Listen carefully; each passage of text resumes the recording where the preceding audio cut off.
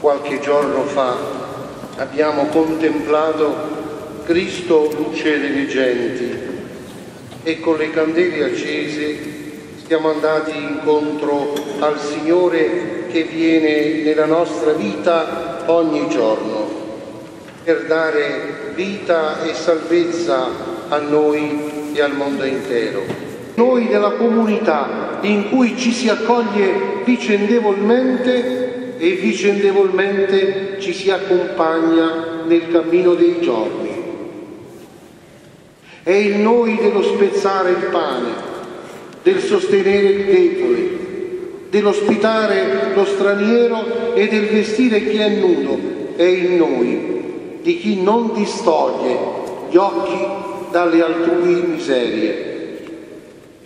È il noi di chi si occupa della propria gente e della propria città, di chi trova guarigione alle proprie ferite non leccandosele. In un isolamento individualistico, ma nel guarire le altrui ferite.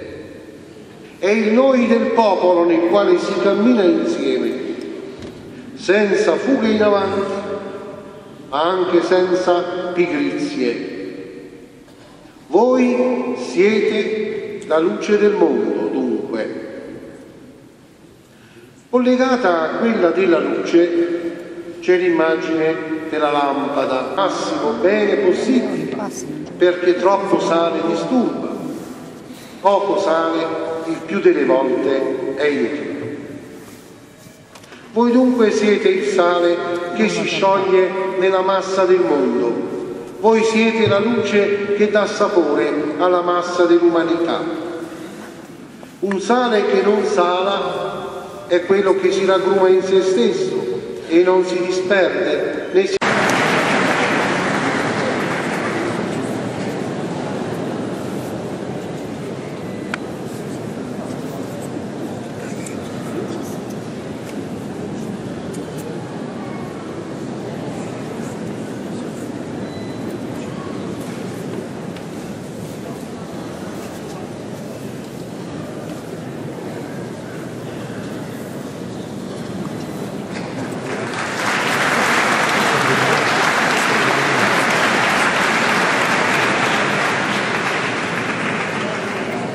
sale e luce nella misura in cui partecipano alla vita degli altri, fino a renderla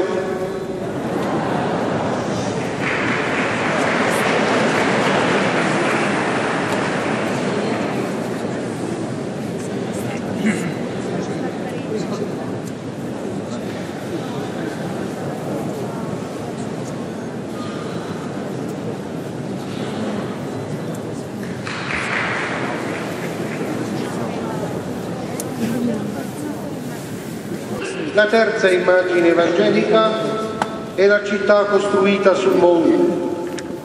Si parla qui della Chiesa, ma anche del mondo. Il mondo di oggi va accettato con atteggiamento positivo per cercare di cambiarlo alla luce del progetto di Dio su di essi. Sarà la fedeltà al Vangelo a renderci capaci di parlare del Dio di Gesù Cristo all'uomo di oggi, a farci trovare strade nuove per la missione e a gettare ponti anche verso ambienti ritenuti irraggiungibili.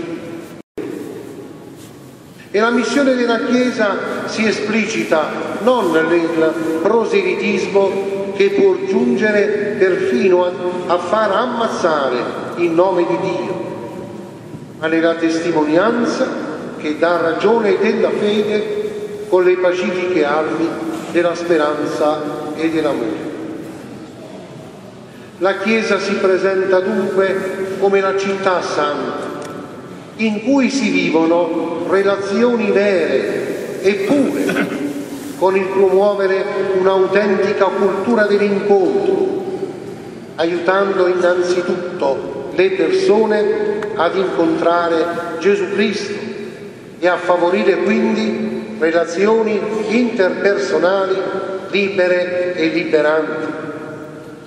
La vicinanza e la condivisione fanno bene a tutti, mentre la distanza e la rivalità fanno ammalare tutti di asfissia.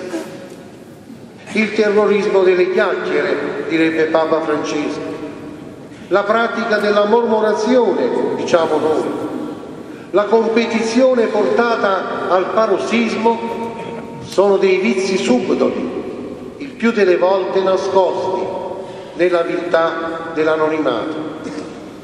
Non ci si può richiamare al Vangelo ed essere al contempo chiusi alle opere del Vangelo tra gli uomini. Fede e chiusura sono termini che si escludono a vicenda. Una Chiesa chiusa in se stessa si ammala per mancanza d'aria. Nei nostri ambienti si deve poter respirare l'aria pulita e montana del Vangelo. In amicizia a Gesù Cristo, l'amicizia di Gesù Cristo, in fondo è lo Spirito Santo, è spirito di luce e di vita, spirito di verità e di pace, spirito di giustizia e di misericordia.